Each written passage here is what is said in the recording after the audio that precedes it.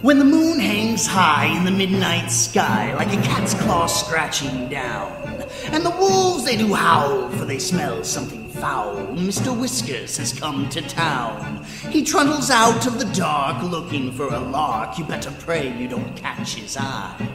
For when he is done having his fun, you just might wish you could die.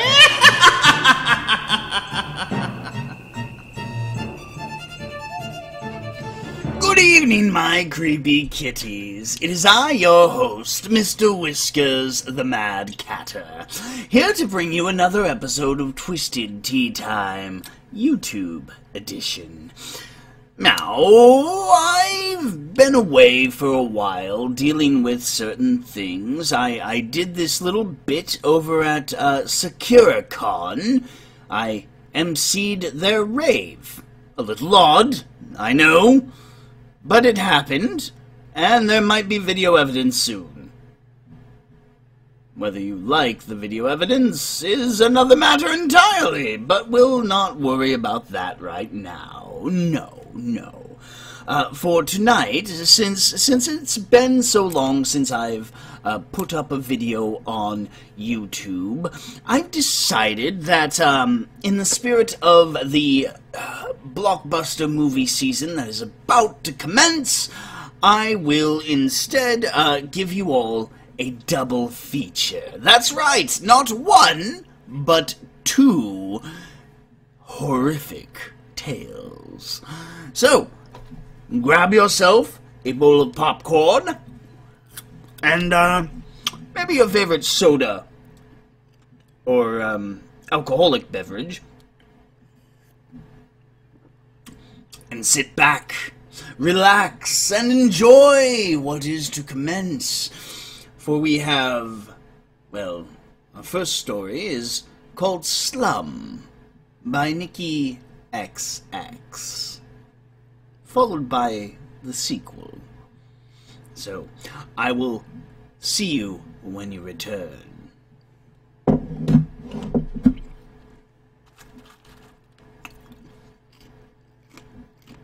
Hmm. I rather like kettle corn. Salty and sweet. Yes. Mm. Marvelous. Mm. Enjoy. Goodbye. Slum by Nicky XX.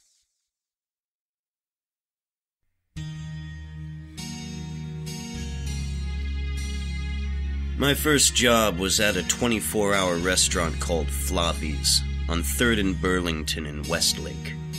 It was a real hole in the wall place, the type where patrons lined up beneath the menu board specializing in burgers, gyros, and all day grease heavy breakfast. I worked graveyard shifts, so did most of my customers. The medical crowd, and there were two middle sized hospitals nearby, cops, firefighters, and the assorted civil servants that filtered in and out of the neighborhood. A middle aged LAPD officer used to come by, sometimes with a partner, sometimes alone. Let's call him. Officer Carlos Nunez. Officer Nunez didn't look like a cop. If I'd seen him at a grocery store, I'd have thought he were a professor or an attorney or a realtor.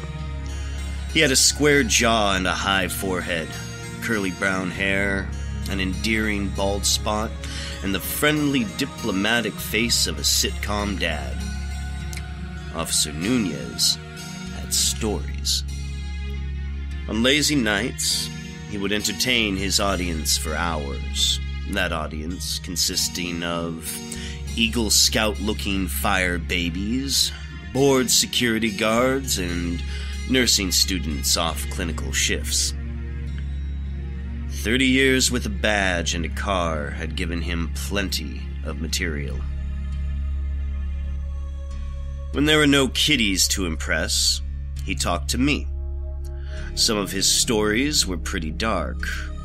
He saved those stories for the coldest, windiest nights when Flavi's was empty, save for him and me and the cooks.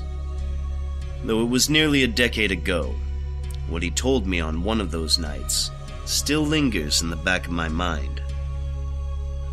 There's a building he'd started, less than a mile from here, near 6th and Alvarado.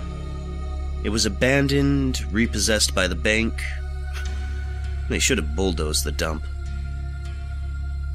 It had been low income housing, the Primrose Apartments. Originally office space, the building was bought at an auction in 1999, gutted, and divided into cheap little white walled units, where the roofs leaked and the air conditioning never worked. In the early 2000s, Nunez was dispatched to the Primrose every couple weeks. For the reasons one would expect domestic disturbances, possession with intent to sell, drunken brawls in the parking lot, solicitation, truancy, noise complaints, nothing out of the ordinary for a public housing complex lodged within the bowels of a major city. Yet somehow, embarrassingly, the building played on his nerves. I never liked the place, he told me. It was creepy. No building erected in the 70s has the right to be as creepy as that one. If he'd been asked to put a finger on the epicenter of this innate creepiness, he'd have pointed to a little closet on the first floor. The way he described it was coming from the back entrance, which only employees and cops ever used. A left turn would take you to a set of double doors, through which the elevator lobby and the leasing office were accessible. A right turn down a narrow hallway past the janitor's storage to a dead end. The little closet in question was opposite the janitor's. The door was unlabeled, innocuous, and should have functioned as glorified wallpaper. But for Nunez, who'd stumbled upon the closet while looking for a restroom, even a glance towards it filled him with irrational dread. A funny smell lingered about the door. He'd catch a faint tendril of the stench every time he walked through the back door. One night, Nunez and his partner, a lady cop who went by Rusty, were dispatched to the Primrose to investigate a domestic disturbance. A man threatening his girlfriend with a butcher knife. They found the woman locked in the bathroom and the boyfriend pounding on the door. Let's call the woman Marisol and the man Modesto. Nunez and Rusty managed to cajole the pair into cooperating. Rusty stayed in the bathroom with Marisol, Nunez sat in the kitchen with Modesto. Modesto claimed that Marisol was cheating on him with her ex-husband. He'd seen the ex hanging around the elevator lobby. When quizzed on the subject, Marisol insisted Modesto was crazy. Yes, she was still friendly with her ex-husband, but it was solely for the sake of their son. She had no desire to sleep with him, and besides, the ex-husband lived in Washington. It was suggested that Modesto had seen a man who resembled Marisol's ex. He got defensive, he strode into Marisol's son's room and came out with a framed picture. The son with his arm around a taller and better looking man. I gotta see this shit every day, he ranted to Nunez. You don't think I'd recognize this asshole if I saw him? It took a while, but Modesto calmed down and admitted he may have been mistaken. Marisol didn't want to press charges, and the couple was left in peace. Two days later, Nunez and Rusty were called to the same apartment for the same reason. This time, Marisol was barricaded in the master bedroom, and Modesto was brandishing a tire iron insisting he'd had an enraging conversation with her ex husband in the lobby. You fucked him! He screamed. He told me he said you fucked him on our fucking bed. Backup was called. Thirty minutes later, Modesto was cuffed, sobbing to a chair. while Marisol tearfully paced on the phone with the ex husband, trying to prove he hadn't been hanging out in the lobby of the Primrose. There! She cried finally. Triumphantly, she pulled up a picture on her phone and shoved it in Modesto's face. She handed the phone to Nunez. It was of the man from the picture, her ex husband, standing by a City of Wenatchee street sign, holding a copy of the Wenatchee World with the day's date. No way he flew here, fucked me, then flew back to Washington in time to take this picture. Modesto was asked to elaborate. Maybe he was the butt of a cruel trick. He said he'd been alone in the elevator lobby, checking his mail. The ex husband stealthily came up beside him and had described in graphic, excruciating detail what he and Marisol had done while Modesto was at work. This time, Modesto was more difficult to pacify. He'd been suspicious for months, he told the cops. He knew the ex husband had attempted to reconcile with Marisol. He was uncomfortable with their amicable relationship, and it didn't help that Marisol used her ex to stroke Modesto's jealousy. She'd call him whenever the two of them got into a fight, and constantly talked about how good a father and provider he was. Finally, they came to a resolution. Modesto went to stay with his brother. Marisol agreed to lock the doors, and a police car was dispatched to the neighborhood in case the ex husband reappeared or Modesto got cute. Nunez didn't know what to make of the two of them. Modesto was obviously paranoid, but his fury and grief had been sincere. Marisol may have used her ex husband to make her current beau jealous, but she'd seem legitimately mystified by his accusations of infidelity, and Nunez highly doubted the ex husband would have hopped a plane to Los Angeles just to fuck his ex wife and stick it to her new boyfriend. And then there was the man in the elevator lobby. The man whom might have been in the elevator lobby. Nunez and Rusty passed him on the way back to their squad car. A man leaning against the wall, face buried in a newspaper. Nunez saw the man and registered what he was seeing, but it took his subconscious a minute to process the information. The realization of what he'd seen and its implications hit him like a ton of bricks, and he ran back through the back entrance, back through the double doors. But the man was gone, and Nunez was left to wonder whether or not it had all been his imagination. Because he could swear the man had been reading a copy of the Wenatchee World.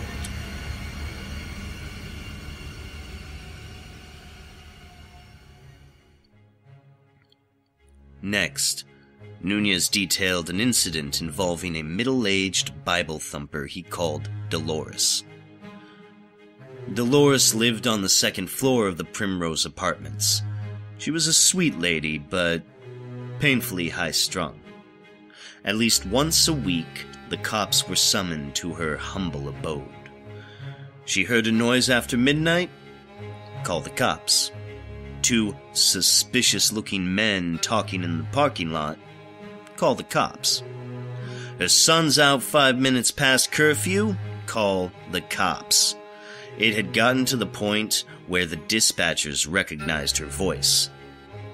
Nunez had been sent to calm her down more than once. He believed that, truly, Dolores just needed someone to talk to, and she talked a lot. She talked about her blackout drunk past, about her husband who had fled in the dead of night with the shoebox full of cash she'd been saving for her kids to go to college, never to be seen or heard from again. She told him about how she'd found Jesus and how she wished her meth addicted daughter would come home. The daughter had been in Bakersfield last she heard, shacking up with the boyfriend du jour and three months pregnant. But that had been two years ago. And now her number was disconnected and her mail got sent back. And all Dolores could do was pray for her grandchild. She talked about her son, Michael. He was 17 and a senior in high school. Michael was a good boy, she insisted, but she didn't like his friends. They were a bad influence on him, and lately he'd been avoiding her calls and coming home late. He was surlier, angrier, and his clothes smelled like marijuana. He swore the pot smell had come from his friend's car, but Dolores was scared. She thought he was doing drugs. I can't lose him. She'd sobbed to Nunez as he tried to convince her that the car stalling in the parking lot wasn't indicative of a drug deal. Mikey is all I have left. One September day, Nunez and Rusty were, yet again, dispatched to Dolores's apartment. He was more frustrated than concerned. They'd had a rough morning, and he wasn't in the mood to take notes on the explosion. Red, upstairs neighbor dropped a pot and lid. Dolores had heard. Or nod and uh huh through one more of her long winded tales of motherly woe. But, according to the dispatcher, this time was different. Dolores, who usually took an assertive and condescending tone, had been screaming and crying. It was her son. He was hurt. The paramedics were 15 minutes away. Dolores answered the door, howling. Her prematurely wrinkled face was streaked with tears. Her eyes were bloodshot. Her hair stuck out where she'd pulled at it, and she was sobbing so violently she could barely speak. Michael! She panted, pointing towards a closed door. Michael, he's. he's. She screamed. Primal, animalistic, she cried out to the sky and collapsed on the floor, burying her tear stained face in her knees. Even thinking about it, Nunez told me, was enough to make him tear up. All the pain and despair in the world was captured in that scream. Rusty tried to comfort Dolores. Nunez, hand on his gun, opened the door. The smell hit him immediately. Musty, like a basement after a rainstorm, mixed with something sweeter. The potpourri his mother had kept in a bowl. He breathed through his mouth. He flipped the light switch. A teenaged boy's bedroom. In the far corner, a mattress with bedding kicked aside. On the mattress, a young man, no older than 18, was propped up against the wall.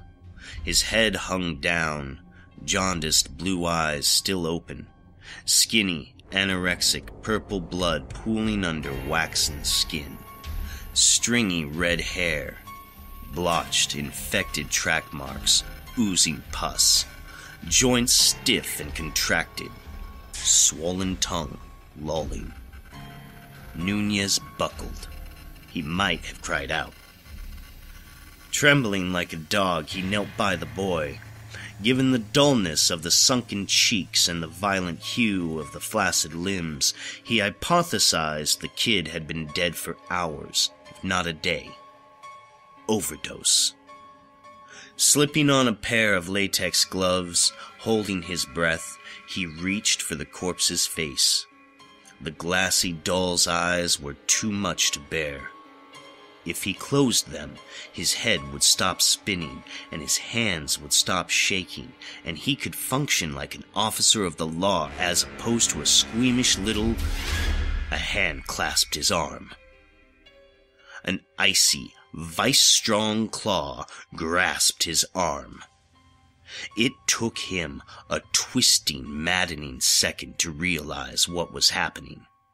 Michael's cold, dead, decomposing Michael's cyanotic fingers were wrapped around his wrist. Nunez fell backwards. Michael sat up straight, folded, turned on his torso. His stiff, angular joints jerked mechanically, grotesquely. His tarnished plastic eyes stared lifelessly ahead. Then the jaw moved, jostling the swollen, languid tongue, and with no respect for mechanics or anatomy, he spoke. Officer Nunez. A monotonous, alien mockery of a human voice. This will all burn. You will burn with it. Nunez grunted, kicked, tugged, broke free of the creature's grip. He twisted onto his hands and knees. He stumbled to the door, turned the knob, and fell into the living room, slamming the door behind him. Dolores was curled on the couch, sobbing quietly. Rusty stood in the doorway, waving to the paramedics who were making their way down the hall with the gurney. The boy, he's not. Nunez stammered. Rusty turned to him, then snapped her head back toward the hallway. What the fuck? A paramedic pushed past her into the apartment. On his heels was a teenaged boy with longish red hair and blue eyes, dressed in khakis and an NWA sweatshirt, looking quite confused. It was Michael. Michael, very much alive. Dolores screamed. In one movement, she threw herself onto her son, collapsing with him to the dirty shag carpet, clutching him in a suffocating embrace. Rusty gave Nunez a look. The paramedic rolled his eyes. Dying boy found walking upstairs to his mother's apartment, he said sarcastically. Please tell me he's got an identical twin. It was a miracle Nunez held on to his shit. Looking at Michael, healthy, breathing Michael, cradled in his mother's arms, he had never been so scared of a human being in his entire life. There's, there's a corpse, he managed to force out. Eager to establish some context to the zombie movie jump scare he'd just experienced, Nunez grasped the doorknob with his right hand to pull himself up. Searing pain tore down his arm. He fell to his knees, groaning. The paramedic pushed past him, opened the door, looked in, and snorted. Nothing here. Nunez managed to rise to his feet. He and Rusty peered into Michael's room. There was nothing. The mattress, save a bunched up comforter and sheets, was unoccupied. No blood, no excrement, just an empty teenager's bedroom. He did a lap of the room just to make sure. He shook out the comforter, dug through a hamper of dirty clothes, threw open the closet door. Nothing. No remnants of the atrophied, decomposing corpse that had threatened Nunez with fire. He sniffed the air. The musty potpourri smell still hung in the air, but it was fainter now, dissipated, despite the tightly closed window. Dolores, giddily happy, concluded she must have imagined seeing her son's dead body. She didn't do any drugs, no sir, clean for twelve years, but had been under a lot of psychological stress, and lay awake nights haunted by visions of her only remaining child repeating her youthful mistakes. That, with the heat and the smog, it was enough to make anyone hallucinate. I saw the same thing she did, Nunez remembered saying. Michael, sprawled dead on his mattress. At that, Dolores had frowned. What are you talking about, sprawled? I found him hanging in his closet. Nunez couldn't get out of there fast enough. It was weird, Rusty said, but not completely inconceivable. Dolores was delusional. Nunez had been overly susceptible to the power of suggestion and had imagined seeing a corpse because Dolores said there was a corpse. Induced psychotic disorder. I don't know, she told him. If you're really seeing things, maybe you should take some time off. Go see the department shrink. Nunez had passed on the shrink.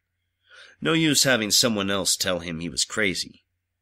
But as it turned out, the time off was involuntary.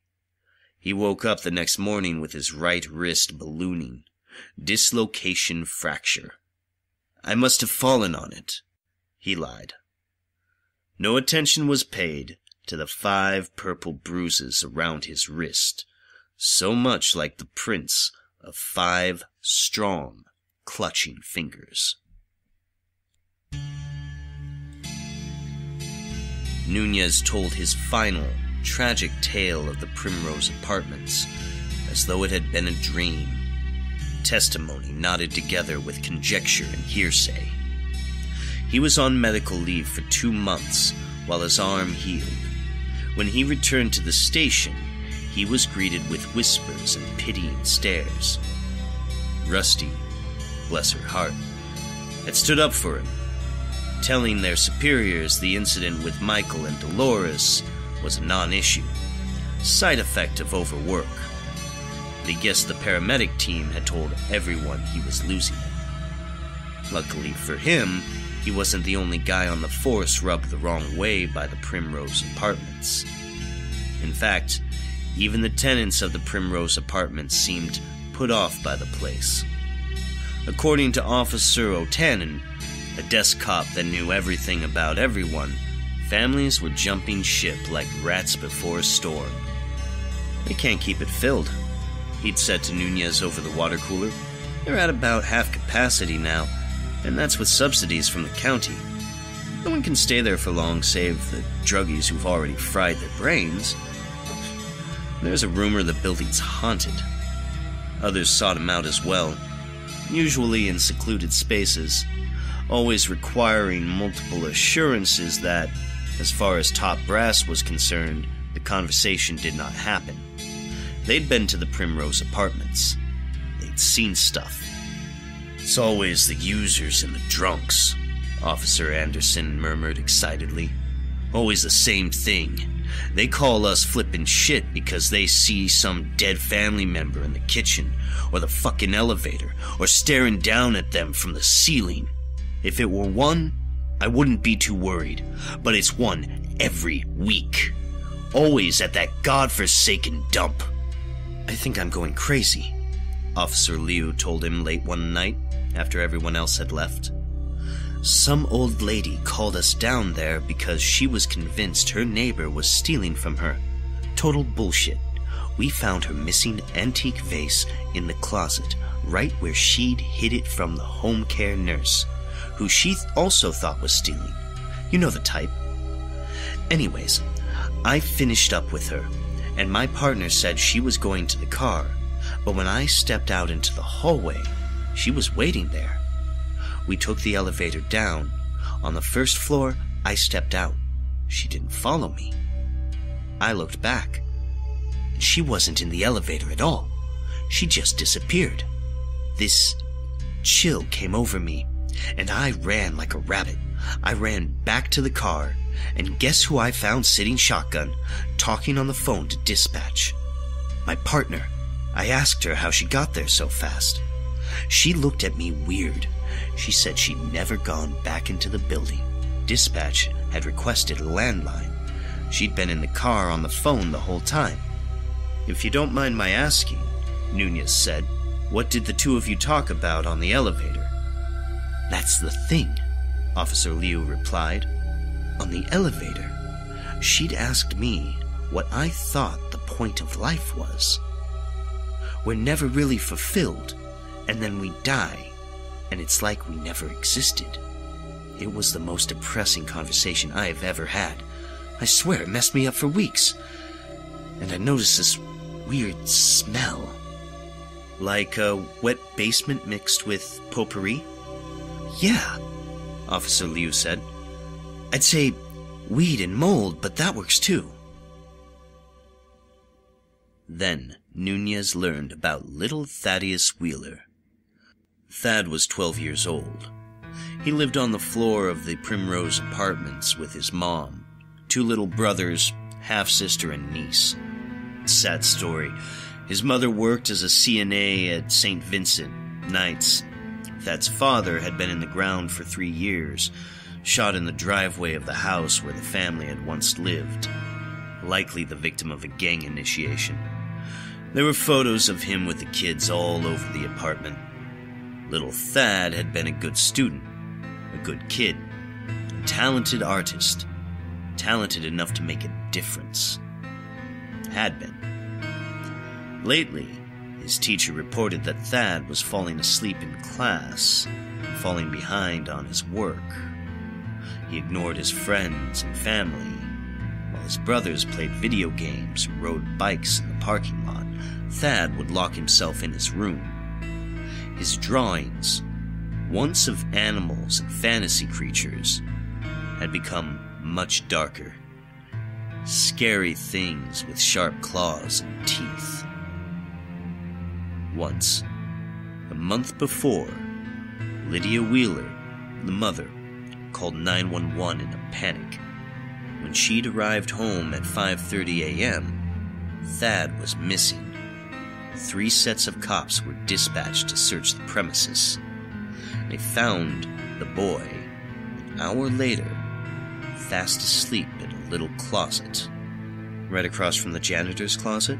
Nunez asked, dreading the answer. Yeah, the other officer said, frowning. How'd you know? When asked why he did it, Thad responded that he simply liked it there. Sleepwalking, everyone thought. But the police had been called to Lydia Wheeler's apartment twice more since then. Once by Lydia, because Thad was hitting his head against the wall and wouldn't stop. And once by a neighbor, because Thad was wandering aimlessly through the halls clutching a serrated steak knife. Lydia told the cops that Thad's nighttime sojourns to the little closet on the first floor had become a reoccurring incident. Three times a week, she would find him there, asleep on the dirty linoleum floor. She was looking for a therapist. The next time Thaddeus Wheeler inspired a 911 call by the sister, Rochelle this time, Nunez and Rusty were one of the two pairs sent. 12 year old African American male, The dispatcher had said. locked in a bedroom, armed with a knife, possibly a second person with him. Nunez and Rusty met Rochelle, a chubby girl of about 19, in the hallway outside the apartment. Toddler and two school aged boys huddled at her feet. There's a man in there, Rochelle cried. I went to the door to call Thad for dinner, and I heard him talking to someone. This deep man's voice responded. Then Thad started screaming, No, no, no! And something slammed against the wall. I tried to force the door, but it's locked, and I think there's something pushed against it. Did you hear what the man said to Thad? Rusty asked calmly. Rochelle shook her head. I think I'm going crazy. I couldn't make out what he said, but it sounded like. I don't know, it's bullshit. What? Rusty asked. I thought he sounded like my stepfather. But my stepfather's been dead for years. Rusty herded Rochelle and the children towards the elevator. Guns drawn, Nunez and the other two officers entered the apartment. From one of the two rooms, they heard a child crying. Coming up on the closed door, Nunez and the second cop positioned themselves. The burliest of the three turned his shoulder, took a running start, and rammed the door. Bang! A door slid open. A nightstand had been placed against it. Nunez nearly dropped his gun in shock. The must and potpourri smell hit him in the face like a wave. Little Thad sat on the floor between two sets of bunk beds, clad in a wife beater and boxer shorts, holding a steak knife. Up and down his arms and legs were deep, jagged, self inflicted cuts. His face was swollen and snotty. Upon seeing the two guns pointed at him, he dropped the knife and let out a small cry. We're not going to hurt you, kid, Nunez heard himself say. The room was completely trashed. There were pictures on the walls, horrible demons, mutilated humans and animals, flames, torture implements. Upon closer inspections, the drawings were determined to have been completed with both marker and Thad's blood.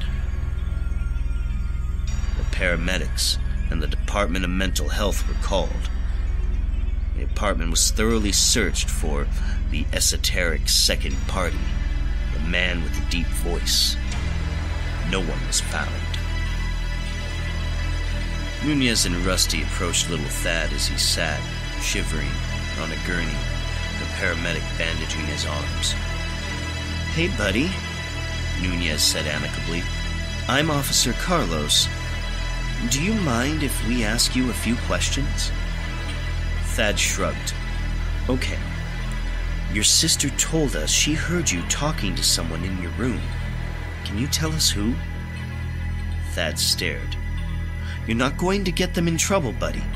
We just want to talk to them, make sure they're okay.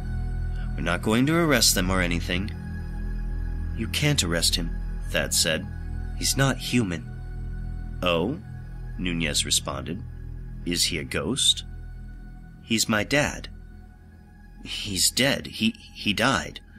The angel sent him to hell. Comes and sees me at night. Tells me what to do so me and my family don't have to go to hell with him when we die. Oh? What does he tell you to do? Thad shook his head. He says I have to draw demons every day, and whenever I have a bad thought, I have to hurt myself. The DMH lady came back then, handing a 5585 detainment form to the paramedics. The paramedics lifted the gurney into the ambulance. Rusty stayed back to talk to them. Nunez, brain buzzing, went to start his report. The druggies see their dead family members. That's what Officer Anderson had said. Officer Liu had spoken to his partner while his partner was in the squad car talking to dispatch. He'd seen Michael's corpse reanimate and assault him. Dolores had seen Michael's corpse hanging in the closet. Michael was alive. Modesto had seen Marisol's ex-husband. The ex-husband was in Washington. Rochelle had heard Thad's father's voice. Thad said his dead father came and visited him. What the heck was going on in that apartment building? The next time Nunez was dispatched to the Primrose was the last. It was some old neighbor lady. He couldn't have said which one. There weren't many tenants left. Of the 17 units that comprised the Primrose, only 10 were filled. This lady had heard yelling coming from the apartments across the hall. A man with a deep voice and either a woman or a young child. The dispatcher immediately recognized the apartment number. Thaddeus Wheeler. Nunez and Rusty used the back entrance. Immediately, Nunez was overtaken by the smell. Musty basement and potpourri. Rusty didn't notice. She headed straight for the elevators. Nunez looked to his right. Thaddeus Wheeler stood in the hallway between the janitor's storage and the underused little closet where he liked to sleep. Rusty had already disappeared through the double doors. Nunez knew he should have gone after her, but he didn't want to give the kid the opportunity to sneak away. Thaddeus Wheeler was a very troubled little boy. He needed to be institutionalized. Not for 72 hours under 5585 hold, long term, until his bipolar disorder or schizophrenia or whatever drove him to argue with himself and paint in his own blood was sufficiently tamed by medication. Slowly, outstretched hands in full view of the boy, Nunez started down the hallway. Thaddeus smiled at him as he got close. Hi, Officer Carlos, Thad said. Have you figured it out yet? Figured what out? Nunez asked conversationally. What I am. Thad's smile grew wider, toothed and maniacal. The musty, sweet stench was suffocating. Let me give you a hint, Thad said. Then his voice changed. It became monotonous, an alien mockery of a human voice. This will all burn, Thad said in red headed Corpse Michael's voice. You will burn with it. Nunez backpedaled. The smell was intoxicating him, drowning him. Then he noticed Thad's bare arms. The arms that had been violently slashed up several weeks before with a serrated steak knife. There were no scars on those arms. What? What? Thaddeus Wheeler, the thing that looked like Thaddeus Wheeler, laughed. Bzz, wrong answer. He boomed in a grown man's voice. I am whatever the fuck I want to be. Then, lightning fast, he pulled open the closet door and vanished within. Burning adrenaline, Nunez followed. He found himself alone in an empty storage closet. The closet was. Well, it wasn't what he'd been expecting. He didn't know what he had been expecting. It was a little room, maybe 10 feet by 12 feet, with exposed concrete walls and two rickety shelves. A rusted lawnmower sat in one corner. A pile of molding boxes filled with fluorescent light bulbs rested beside one of the shelves. Cobwebs hung from the ceiling, and the stained linoleum floor was curling. He held his breath, couldn't bear the smell. Where had Thaddeus gotten to? There was nowhere to hide. Behind him, he heard the door slam shut. He whirled, right hand instinctively reaching for his gun. Standing in front of him, between him and the door, was his grinning doppelganger. The man wore his uniform. Nunez recognized his own pointed nose, unshaven cheeks, and receding hairline. His deep brown eyes and untamed brows.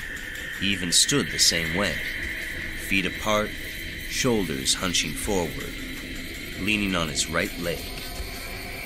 The man was Officer Carlos Nunez, and he, like the real Nunez, was reaching for his gun. Not thinking, not feeling, operating solely on instinct, Nunez shot. Three times. He heard the bullets hit. Pop, pop, pop. Then ringing in his ears. And then silence. He stood frozen. Sweat drenched hands threatening to drop his loaded weapon. Trembling and drawing deep, ragged breaths as the dust settled. He'd blown three holes through the flimsy wooden door. But again, he found himself alone. He was a middle aged officer of the law with years of experience, abandoning his partner and hiding in closets, shooting at figments of his imagination. There was a mighty crack, then a bang, and a scream, then more screams. He exited the room to the hallway and immediately found himself swept up in a minor exodus. Wild eyed residents, scantily clad moms with kids, old couples in sweats, piled out of the stairways, fleeing for the exits, nostrils now clear of the musty, sweet closet stench. Nunez smelled smoke. Then the alarms began blaring. Fire! screamed an emaciated middle aged man running from the stairwell. Nunez screamed into his radio, insisting that dispatch send every available fire unit to the Primrose Apartments now. He ran up the stairs crying the alarm, assisting old women with walkers, scooping up toddlers, herding residents toward the safety of the evening air. When the last stragglers had been evacuated, Nunez surveyed the scene. In the distance, he heard sirens. Then he noticed the residents were all clustered around the same spot in the parking lot, too close to the burning building.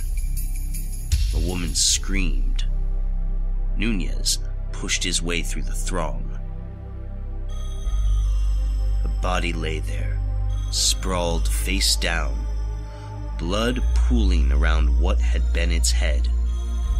The small, dark form was obviously dead.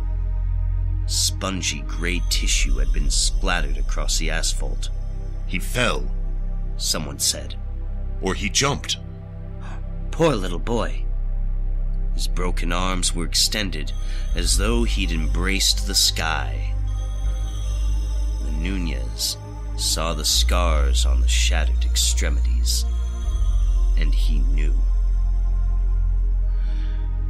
It took until the early hours of the morning to extinguish the flames, and weeks to even begin cleaning up the mess. Ambulances came and left, fourteen injuries in all. The burn unit at the county hospital must have had an interesting night.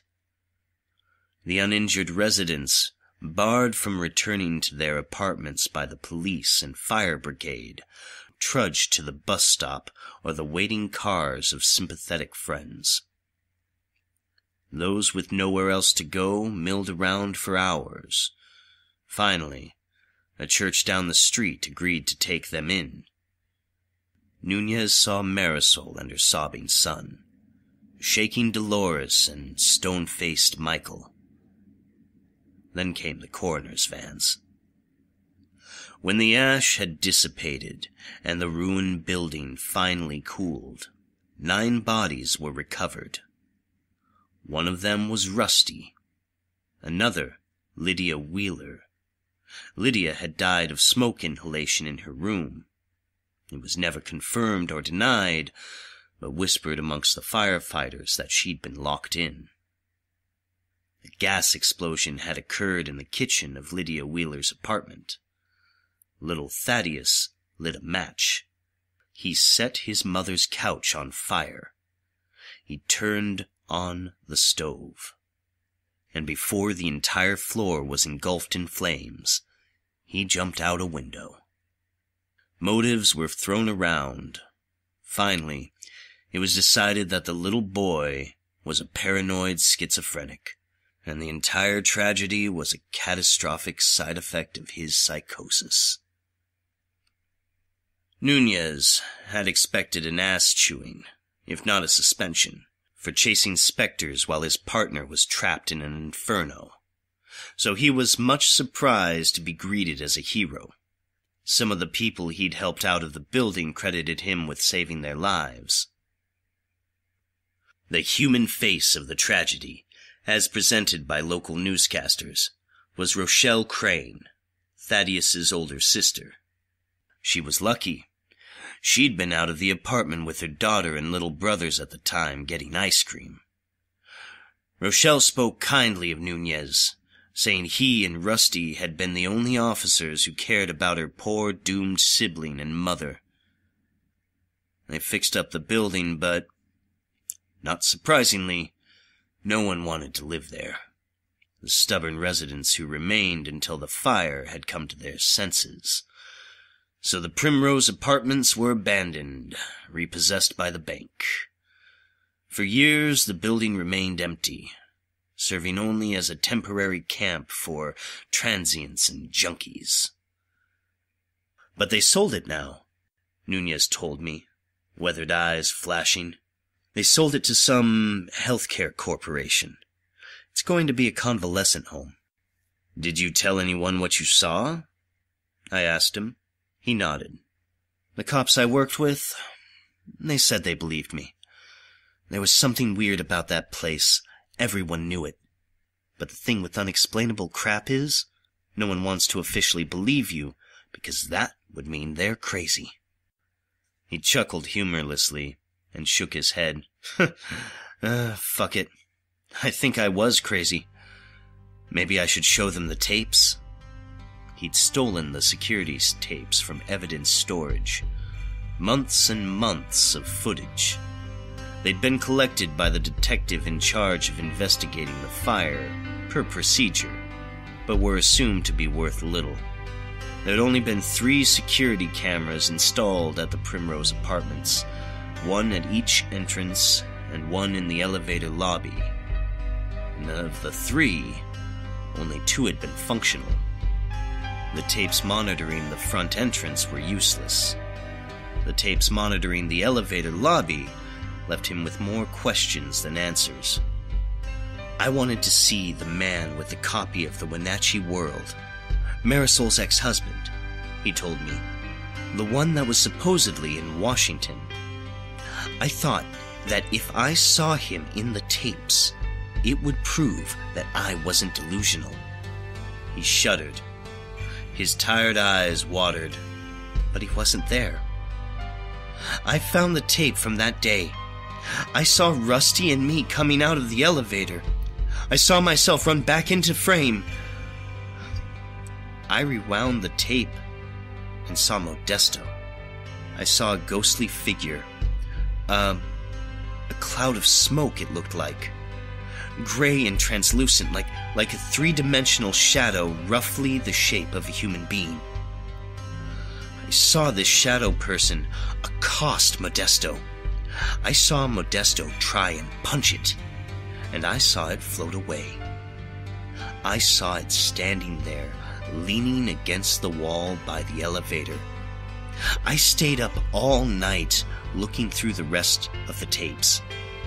The shadow figure was there again and again, with people all around. And the people interacted with it as though it were another human being. When no one was around, it faded, disappeared into thin air. Then I saw little Thad. He was in several of the tapes, always in pajamas, always at night, always the same. He'd emerge from the elevator, half asleep, with the shadowy gray thing guiding him, draped around him, leading him like, like a parent. They'd walk across the lobby and out of the frame, towards that closet. I think that's where it lives. Nunez snuck the tapes out of the station and took them to a friend who tested the authenticity of such footage. The friend concluded the tapes had not been tampered with, and Nunez showed the tapes to his superiors. They'd lectured him about mishandling evidence, told him they'd look into it, and let him off with a warning. It was suggested he see a therapist. Rusty's death had obviously hit him hard. It was getting late, or more correctly, getting early.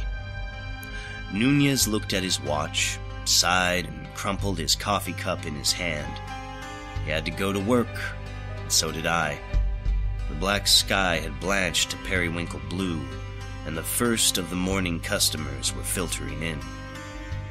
It's sick, evil, Nunez said in conclusion. The shadow figure. It can change shape, become anyone it wants, disappear into thin air. It screws with people, makes their nightmares real. Modesto was jealous, Dolores was obsessed, and little Thad was devastated, missing his father, trying to make sense of the afterlife. It turned itself into Marisol's ex husband, Michael, Thad's father. It tortured them. Emotionally, it, it drove Thad crazy. And you? I asked him. He smiled at me like I'd stumbled over an inside joke. I'm the guy who tells these stories, he said. What's the fun of being an evil spirit if nobody talks about you?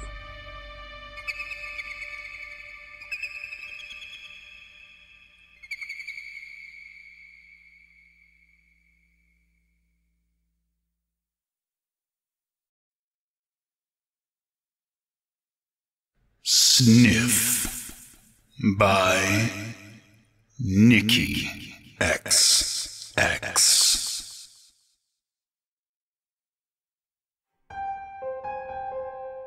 I never liked Rustic Gables' skilled nursing facility. Years ago, I worked as an EMT for Meditrans Ambulance Service. We did interfacility transports, mostly dialysis runs and hospital discharges, so I spent a lot of time around crappy nursing homes.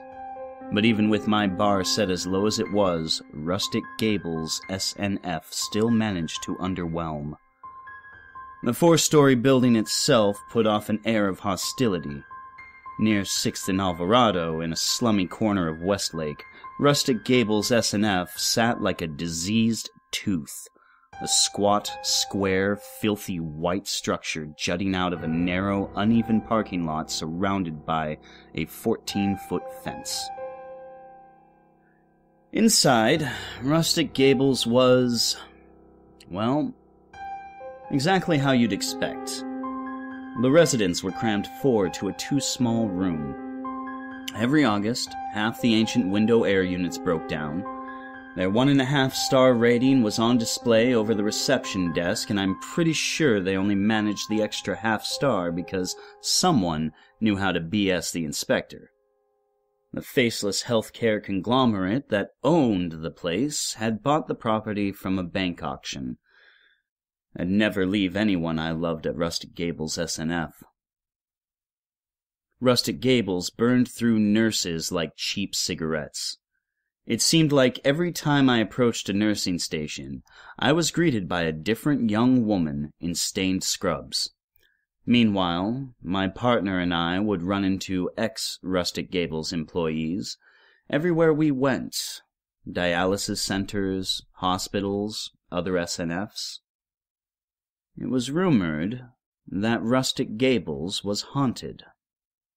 Stories were told of eerie voices behind patients' closed doors, of strangers seen wandering the halls, of objects moving by themselves, and of staff members somehow teleporting themselves all over the facility without realizing it. I heard more than one tale in which the teller swore they'd seen a nurse walk into a patient's room, fail to reappear, then be found on the next floor up, swearing she hadn't been near the patient's room in hours. Once, a patient had been killed when a nurse gave her a second dose of metoprolol, sending her into hypervolemic shock.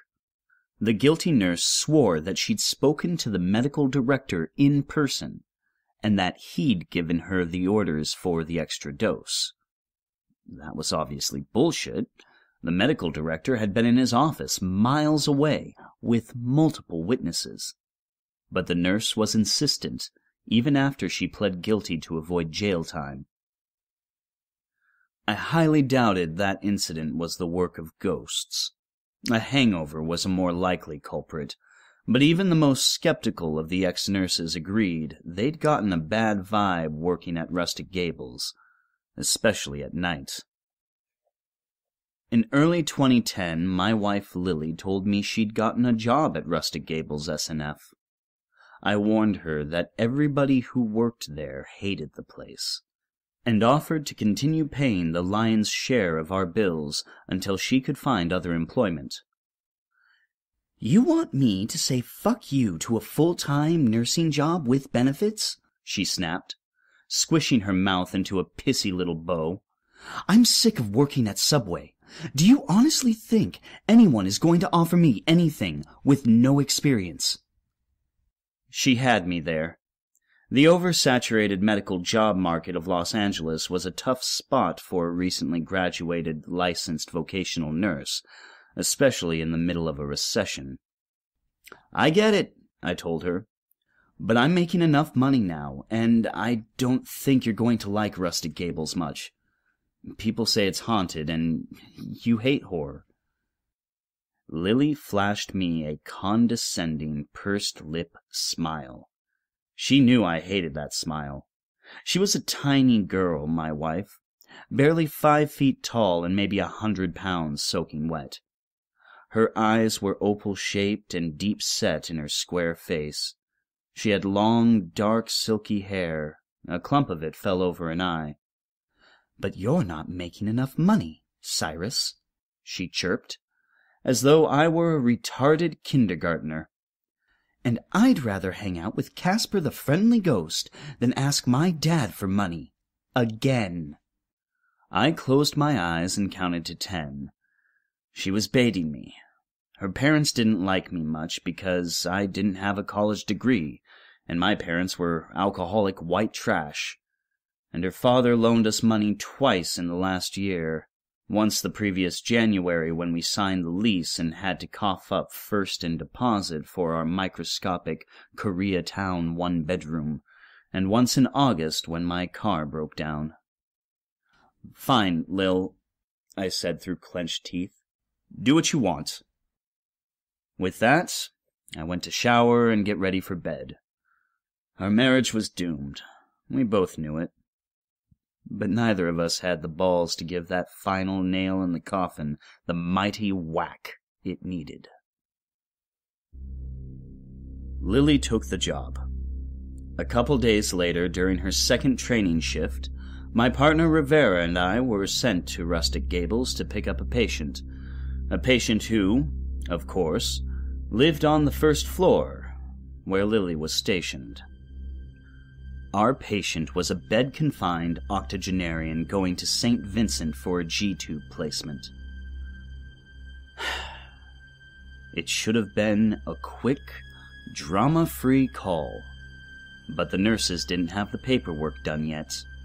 Lily was being a complete asshole about it, hanging over the shoulder of the charge nurse, smiling her noxious purse lipped smile as her new friend berated us over the pickup time, as though it were our fault that they didn't have their shit together.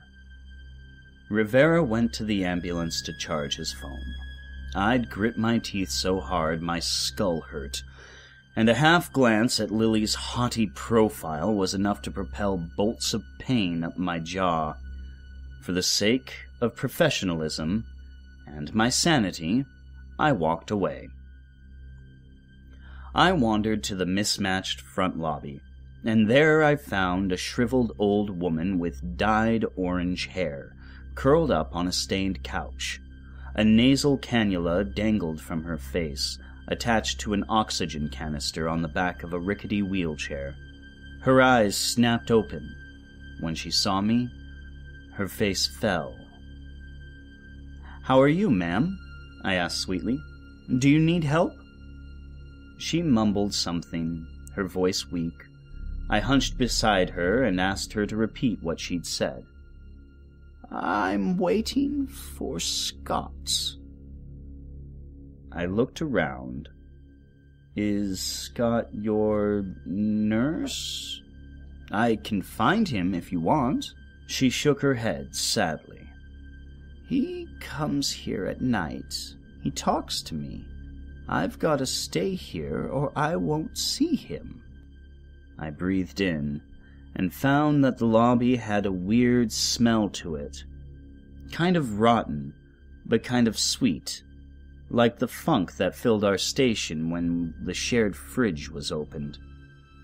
The orange haired lady didn't seem bothered by it, but I was relieved to see Rivera round the corner, paperwork in hand.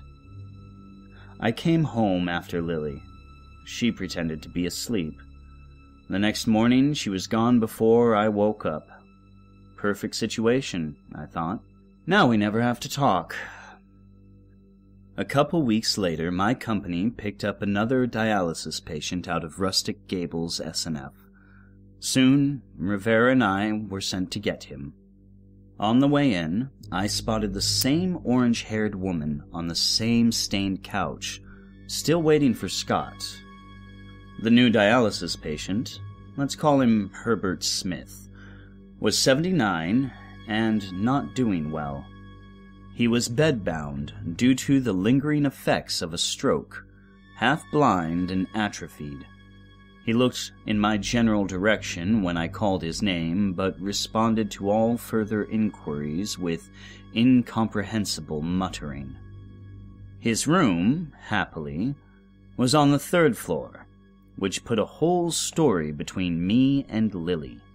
We got him loaded in the ambulance, and after a set of vitals, I took advantage of the 15 minute drive to Western Dialysis to finish some paperwork. Herbert Smith stared mindlessly ahead, seemingly unaware of my presence. Then he mumbled something. I looked up from my writing. What's that, Herbert? I asked loudly. The one legged man talks to me, he repeated. I leaned in. Who talks to you, Herbert?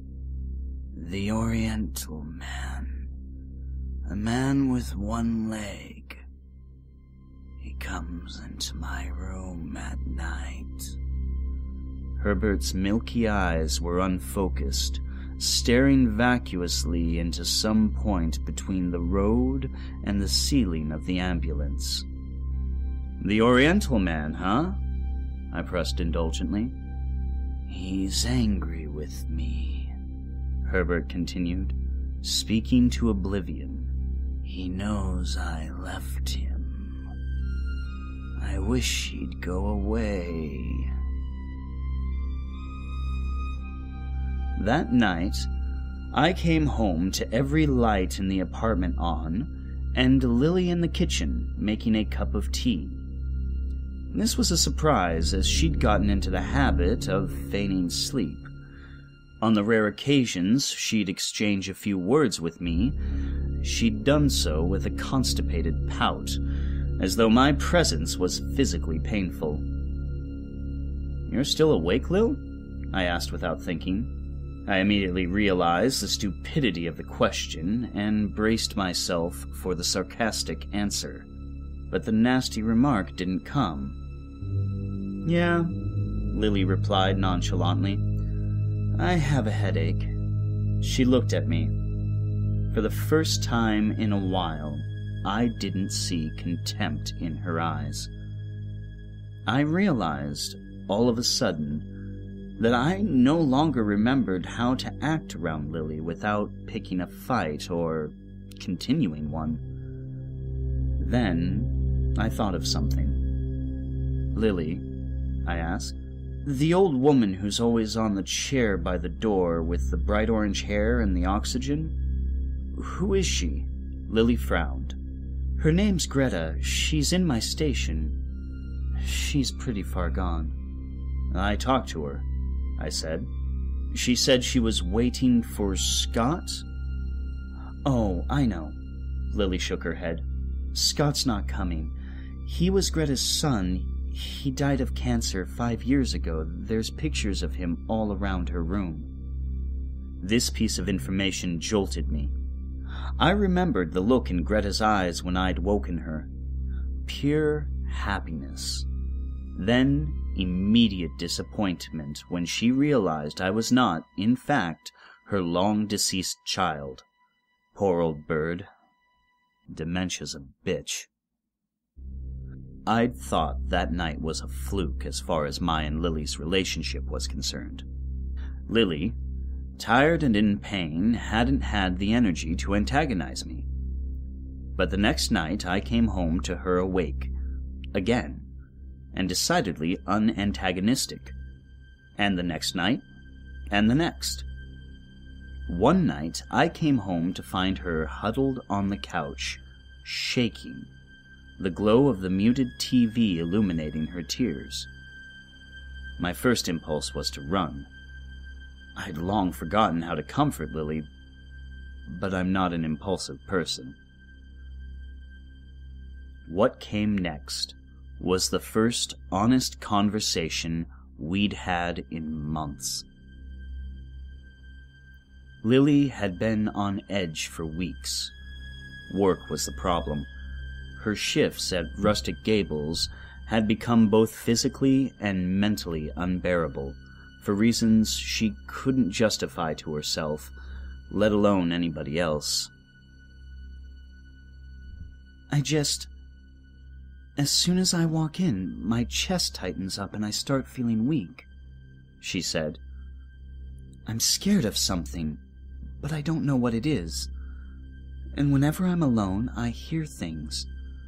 Little noises behind me, but when I turn, there's nothing there. I reiterated that she could leave, that I'd pay the bills, and that I'd known other nurses who'd left because the place was too creepy but Lily shook her head decisively. She wasn't batshit, and if she quit after working at Rustic Gables for barely a month, she'd appear flaky. The next day was Herbert Smith's dialysis day, and Rivera and I were the crew sent to pick him up. The young nurse on duty told me he was being showered. We'd have to wait a few minutes. I considered going to find Lily, then I was drawn to a feature of Herbert Smith's room I hadn't noticed. There was a bulletin board on the wall parallel to his bed, and someone had pinned up several old newspaper clippings. I looked closer. Herbert had been a medic during the Korean War. One article titled, Wounded Hero Welcomed Home described his commendable service. He'd found a young soldier with a chest wound lying on a path. All of a sudden, bullets started flying around them.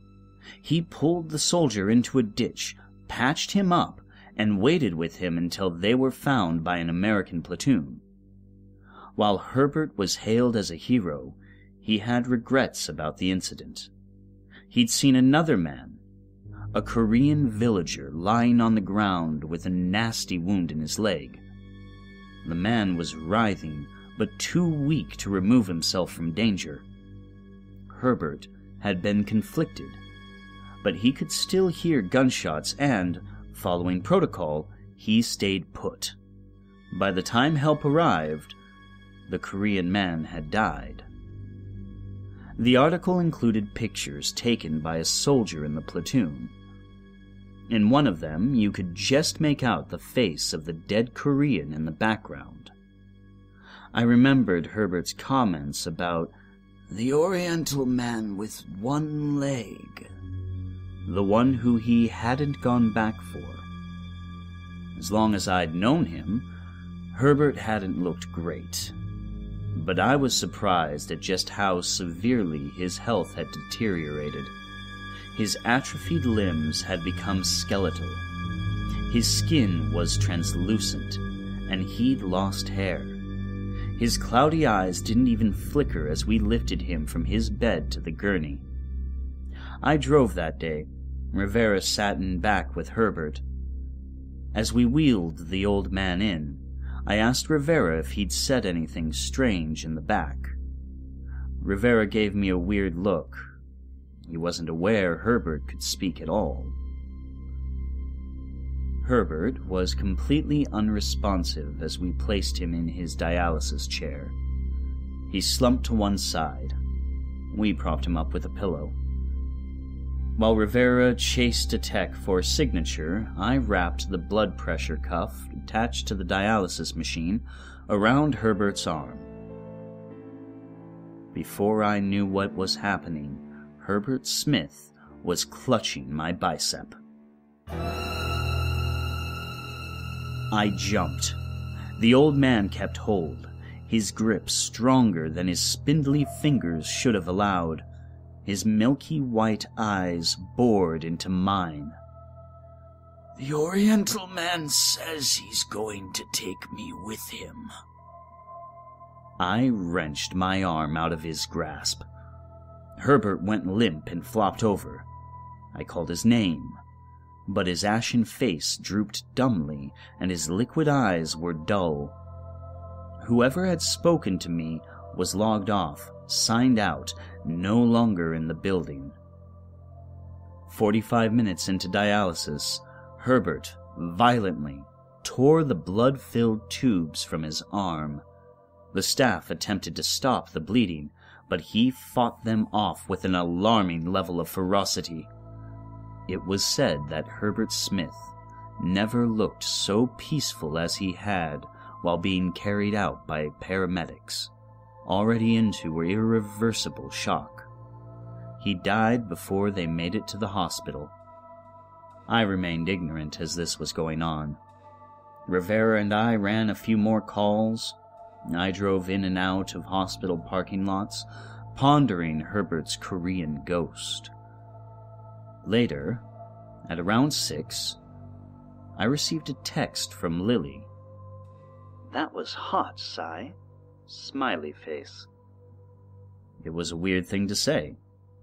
I assumed she meant our conversation the night before, responded with a single smiley face, and thought about it all afternoon.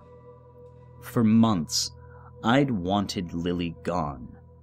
I'd fantasized about coming home and discovering she moved out. But when I read that text, I felt a little twinge of the ecstasy she inspired in me when we were 18 and obsessed with each other. As soon as I walked into our apartment, Lily jumped me. Wordlessly, passionately, we made love on the couch.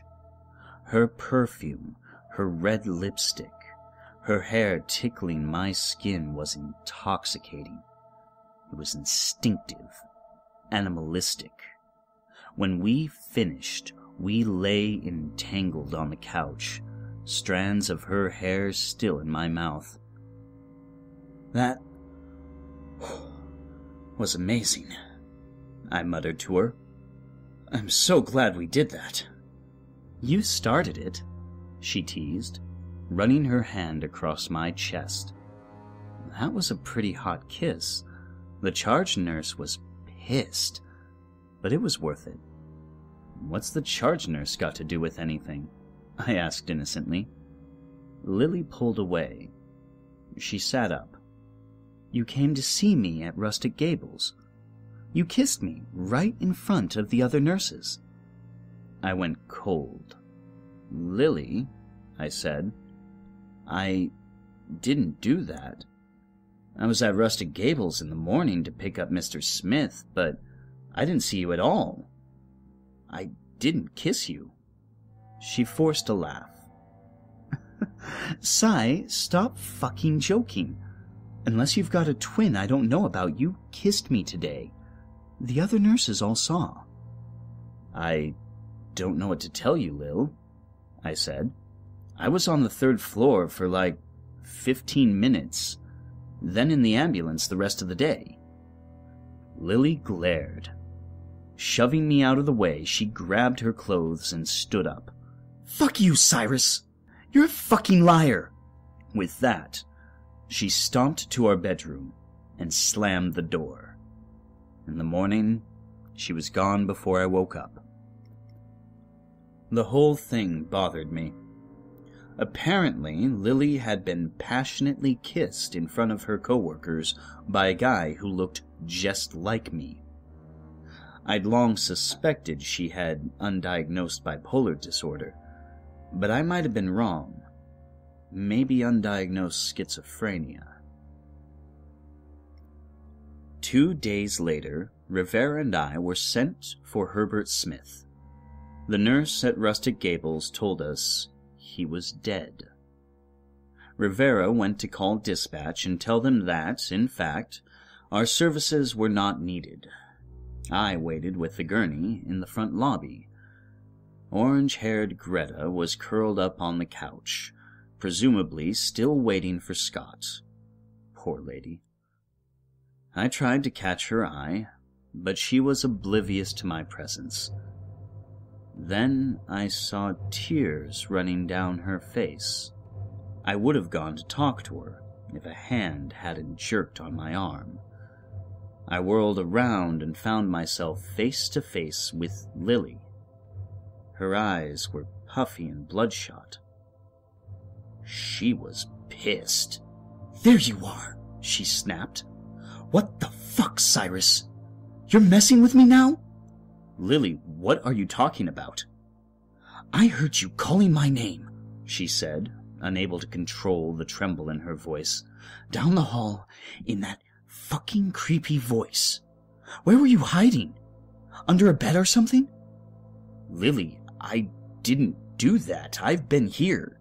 It was your voice, Lily insisted, saying, Lily, come to me. I was handing out meds, and I heard you. I'm so sick of your fucking jokes. Lily, I'm... I started. Fuck you, Cyrus. I want a divorce. With that, she stomped back to the nurse's station. I didn't go after her. I stood there, useless, fuming, all the anger and resentment I'd been nursing for months, the frustration of never ever being good enough for Lily swirled around me like a tornado. I wanted her dead. I wanted to wrap my fingers around her neck and stare into her protruding eyes until they glazed over. If Rivera hadn't come to tell me that we had another call, I'm not sure what I would have done.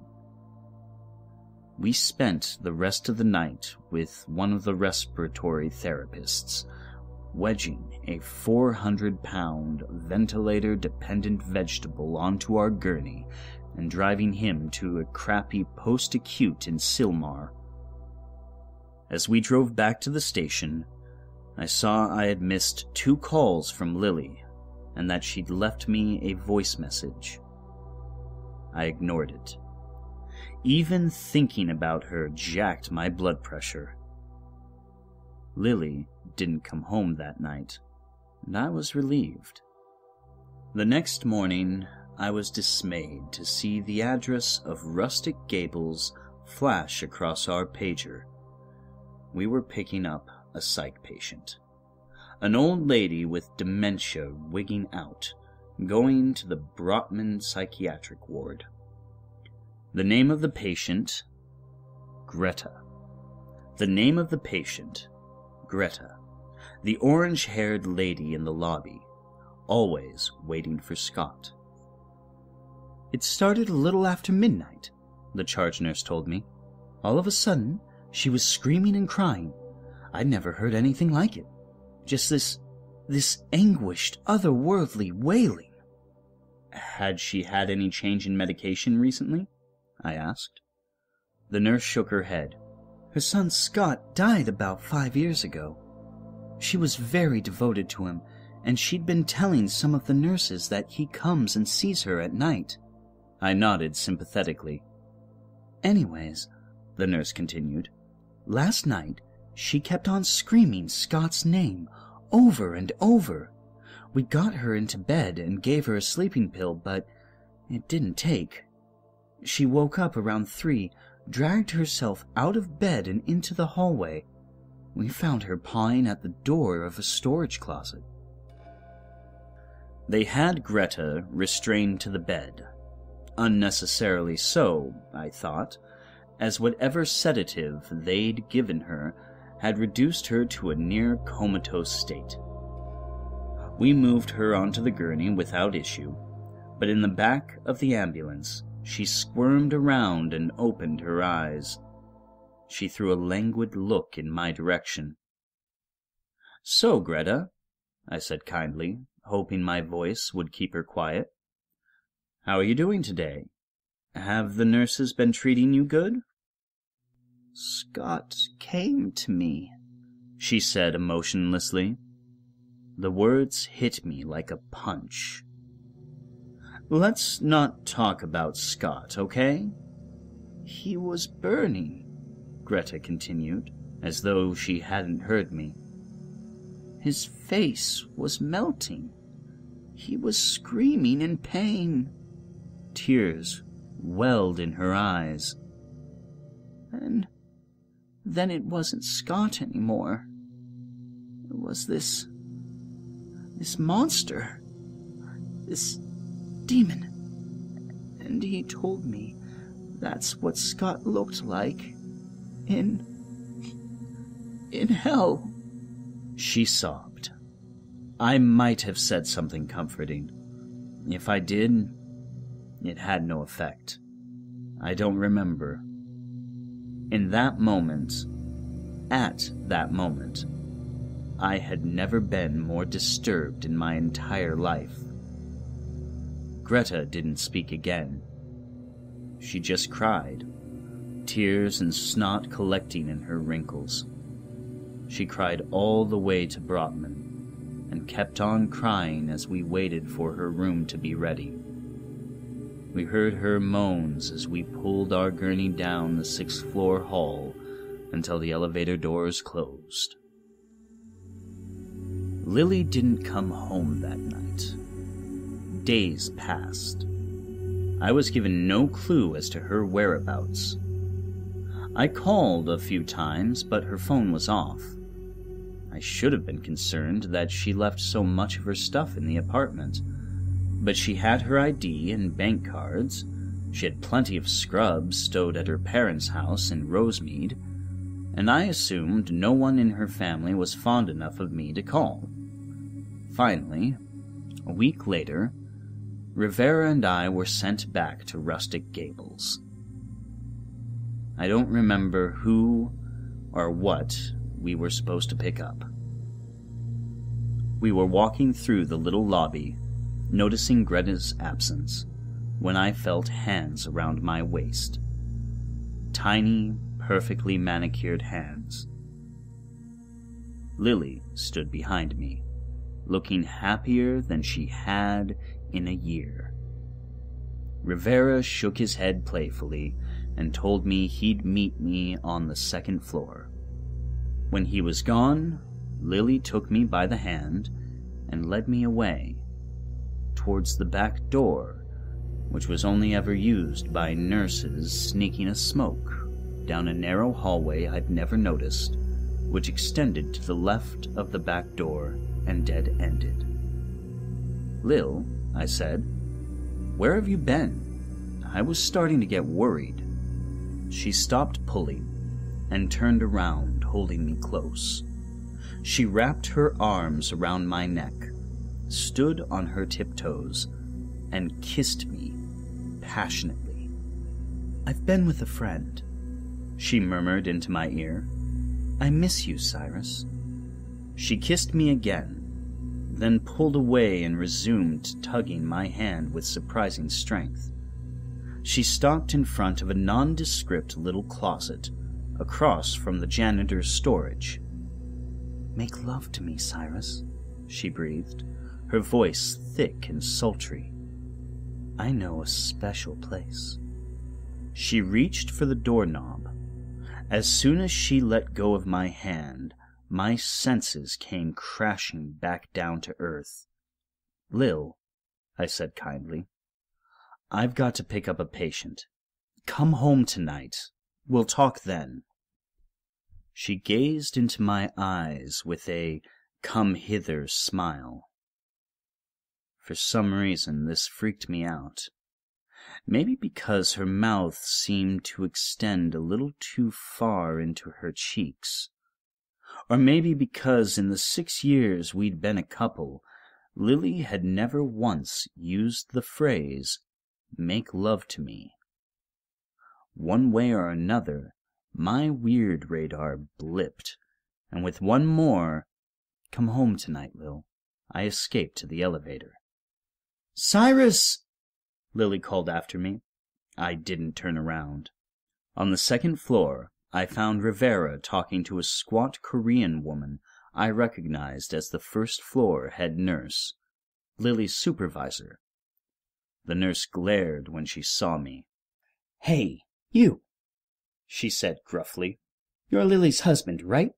I nodded, inviting the catty comment. Where has your wife been? she asked. Her phone's dead. She hasn't shown up for work in a week. Um, She's here, I said. She's downstairs. I just talked to her. The nurse shook her head. Well, I haven't seen her all day, And I just left the desk five minutes ago. She hasn't clocked in since the 12th. I was confused. I told the nurse something, then ran down the stairs to the first floor, dead set on finding Lily and proving her presence. I'd kissed her. I'd felt her arms around me. So either she was deliberately messing with her boss, or her boss was crazy. Or I was crazy.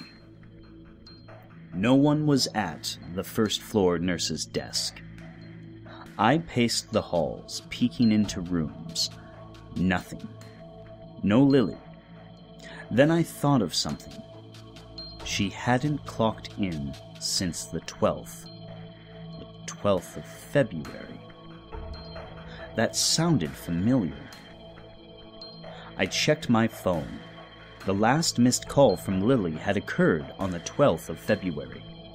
That was the day she'd chased me down in the lobby, accused me of calling her name in a creepy voice, and demanded a divorce. I saw the voicemail icon and recalled she had left a message that day. I dialed my voicemail, deleted a few messages, and then I heard my wife's voice.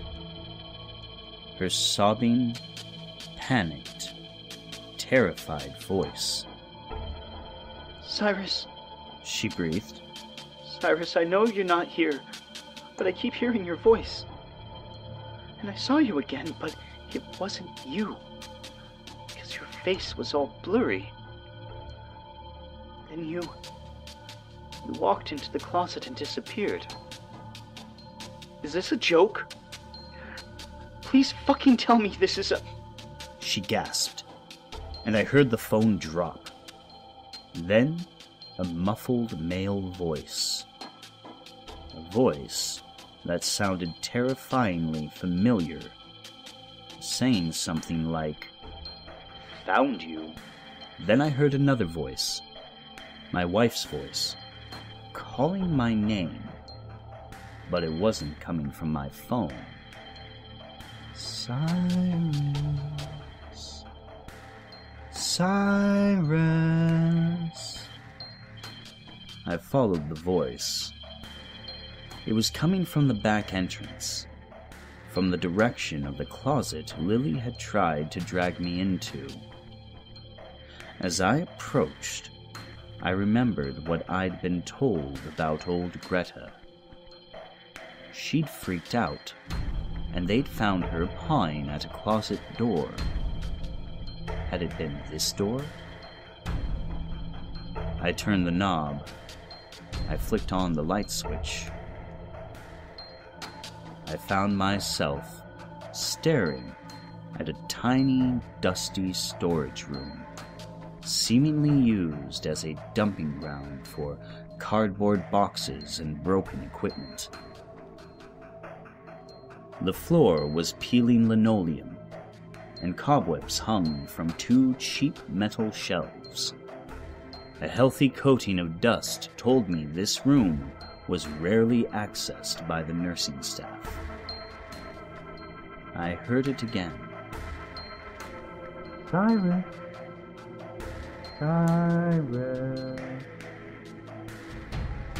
I did a 360, then was hit with the dizzying realization that the voice was coming from under the floor. Anyone with the IQ of a monkey could tell you I should have bailed. That a disembodied voice calling my name beneath the floor on the first story of a building was not a phenomenon I should investigate alone. But somewhere between my softcore script conversation with Lily and her gut churning message on my phone, I stopped thinking logically. I looked around. No doors, no stairs. I knew there wasn't a basement button on the elevator. Then I saw it. Under one of the shelves, a trap door and a small black object. I knelt to look. A Motorola Razr with a Hello Kitty bauble and a small crack to the bottom left of the screen. Lily's phone. This discovery turbocharged my nervous system. I stood up, grabbed the shelf, and pulled. With a loud boom, the metal structure pivoted. I examined the trapdoor. It was latched and fastened with a dusty, rusted lock. Lily's voice, louder, floated up from below. Cyrus. Cyrus. Come find me, Cyrus. Using my pocket knife, I easily picked the ancient lock. Then I lifted. I saw darkness. As my eyes adjusted, I saw stairs. Damp, rotting wooden stairs leading down to some sort of cellar. I breathed in and gagged. The musty, earthy smell was overpowering. It was the smell of a wooden shed after the rain, mixed with the smell of a compost heap, mixed with the smell reminiscent of the family of possums that had gotten trapped under my mother's mobile home one December, died, and rotted until spring. Cyrus! Lily cried again. This time she sounded agitated, scared. I took a deep breath, then descended. I proceeded cautiously, cell phone in one hand, pocket knife clutched in the other. Step by step. By the pale blue light of my cell phone, I saw the floor was dirt. I made out a dark blotch that must have been a puddle and heard faint dripping. The walls were gray cinder block with black designs painted on them. Then my feeble light fell on a woman with blue scrubs and long black hair. Lily. Lil! I cried out. Lily, what the fuck are you doing? She put her finger to her lips as she approached out of the darkness. Then, I was standing on the earthen floor, and she was close. Close enough for me to see her features weren't right. Her eyes were too small. Her nose was too flat. She took my hands. Her features shifted, blurring in and out of focus. Was it an effect of the lights seeping in through the trapdoor? Were my eyes still adjusting? And why had Lily, of all places, chosen and then her mouth was against my mouth. I couldn't eat for three days. I felt her warm tongue dissolve in my mouth, turn cold and dead, break into icy chunks that tasted like dust and stringed cabbage and rotting fish, expanding into my throat, choking me. I pulled away, coughing and sputtering and trying to scream. I dropped my phone. As I dry heaved, I heard Lily's laughter. Now it sounded distant. Without thinking, I stood up. My phone had landed in the puddle, creating an inverted spotlight. A body, noose around its neck, hung from the rafters. Immobilized by terror, I was forced to take in every detail. Blue scrubs, feet dangling lifelessly, claw like hands plastered still in rigor mortis, long black hair, purple cheeks, open mouth, swollen tongue dripping dark saliva bloodshot opal eyes protruding like a demented cartoon character's staring into oblivion. Lily. dead Lily. I don't know how long I stared at my dead wife hanging from the ceiling before I felt the hand on my shoulder. Jolted from my traumatized paralysis, I turned around. Illuminated by the light from the open trap door was me. My mirror image stood in front of me.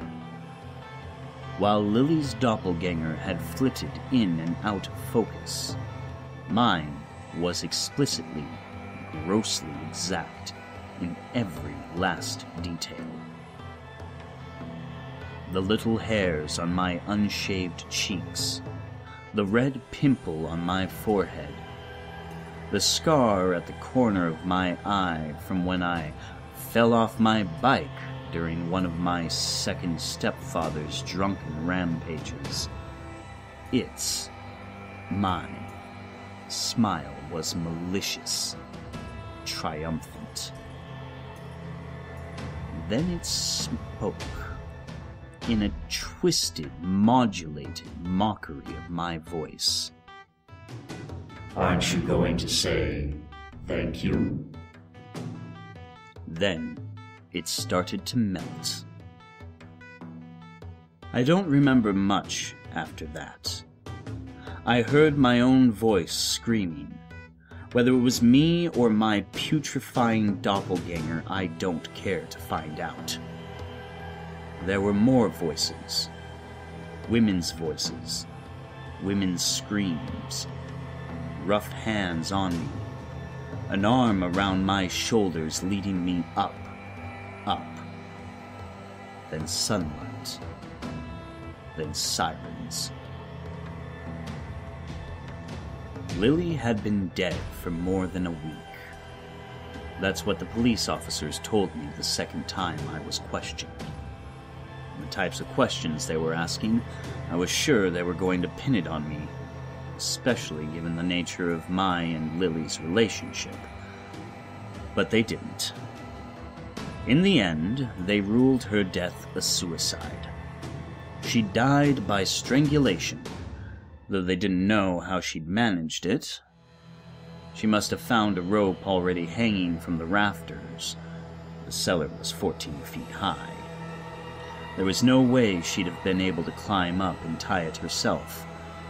Nor could they find the chair or stool she had jumped off. They didn't know how she had found the basement. None of the nurses knew the dirt floor cellar even existed. When the Healthcare Corporation had bought and gutted the place, they'd left the back of the first floor as it was. No attention had been paid to the sad little closet. And no one could explain how she'd gotten down into the basement in the first place. There was only one entrance the trap door. The trap door I'd found, locked from the outside. Even with the coroner's report, the cops had trouble pinning down a timeline. Lily had gone missing on the 12th. Of that, the head nurse was adamant. I insisted I'd seen her, alive, on the day her body was found. Rivera backed me up. We weren't alone.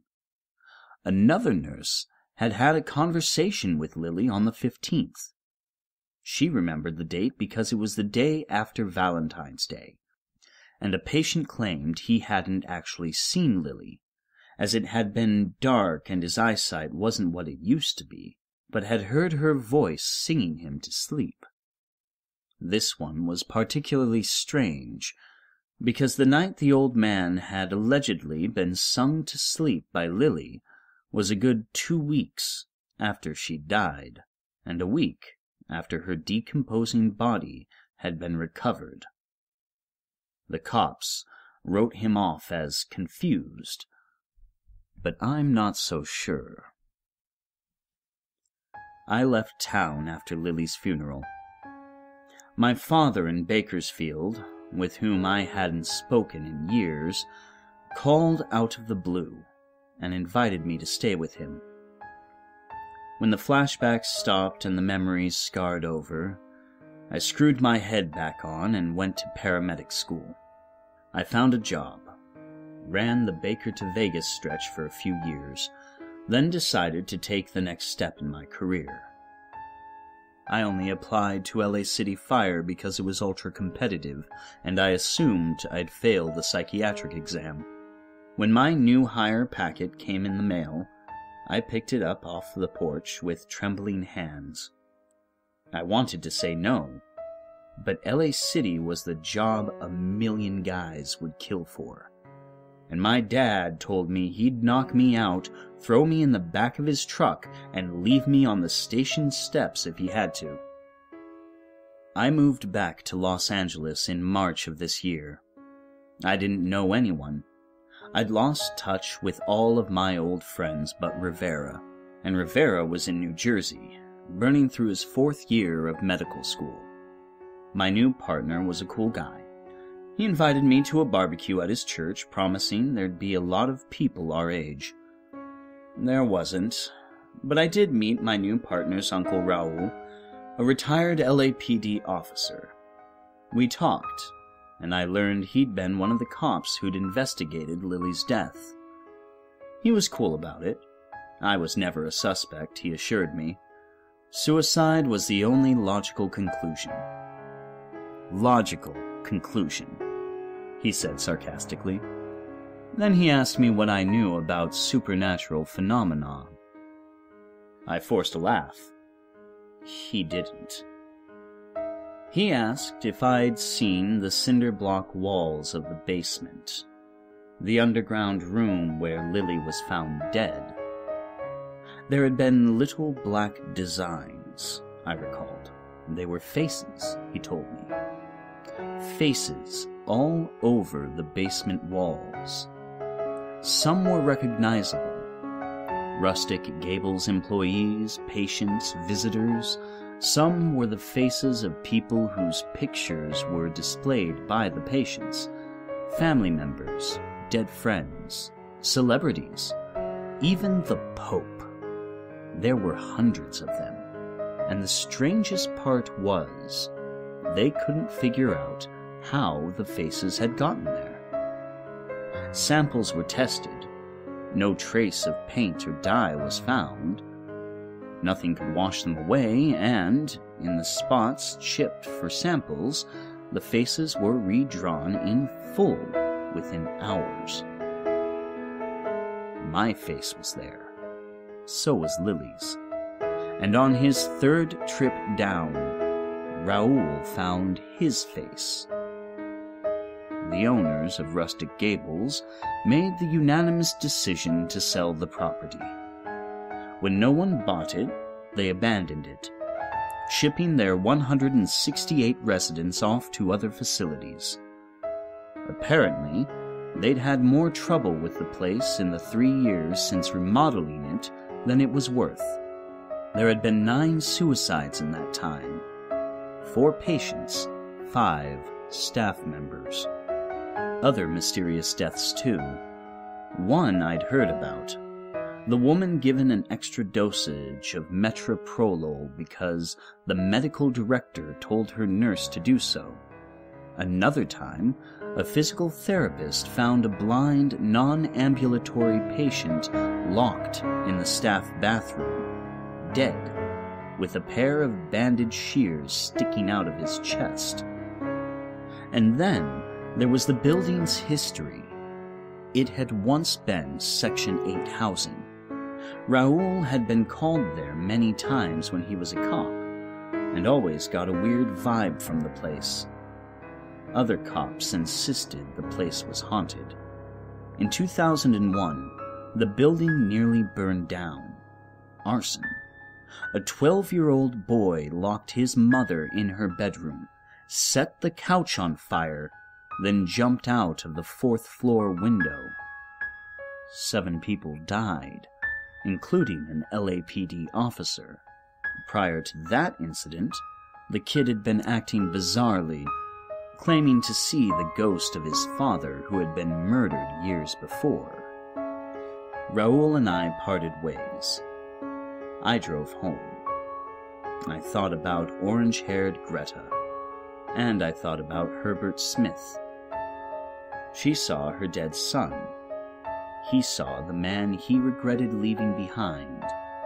And Lily and I saw each other, happier, lustier versions of each other, versions still in love. The next day I did some research on doppelgangers. Omens of doom, embodiments of one's dark side, like Jekyll and Hyde. This led me to the shadow of Jungian philosophy. One's shadow is the manifestation of buried, selfish, evil thoughts. The thoughts you're not allowed to think, the thoughts you deny. I thought about what my doppelganger had said. Aren't you going to say thank you? Whatever demon or spirit lived in that basement, it collected faces. It could shapeshift, become the spitting image of any human form it saw, and it knew our desires and our regrets, our fears. It came to Greta as her son, then used Greta's love to drive her mad. It recreated the image Herbert Smith saw in his guilty nightmares. I wanted Lily to love me again, but a part of me wanted her gone forever. It gave me both. I drive by that building sometimes. The former rustic Gables SNF. The asphalt is cracked now, and the windows are shattered. I wonder if the walls have changed. If there are now more faces. Maybe those of transients or addicts who naively look to the abandoned structure for shelter. Sometimes I catch something out of the corner of my eye, through a darkened window. Sometimes it looks like a human face staring back at me, but I never let my gaze linger for long. I fear I'll see her face, see my mistake, relive her death, and my inadvertent part in it. And I fear I'll see my own.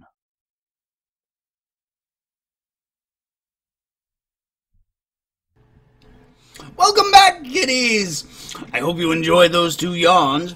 Hmm. I have to say, I will probably be avoiding any closets that smell anytime soon. Um, especially if they lead to places that have a whole bunch of faces. That rhymed, and that was not intentional. Um, anyhow, if you enjoyed those two stories, the author has many, many more up and available on the creepypasta.wikia. I will put links in the show notes down below. If you want more of me and my mischief, well, I'll provide a link to, well, I mean, obviously there's the YouTube channel, but I'll provide a link to the podcast as well. And, um, I believe that's it. So, Alas, my friends, the time has come. I am afraid our stories are done. It does seem that I must fly. So do come back, and until then, don't die.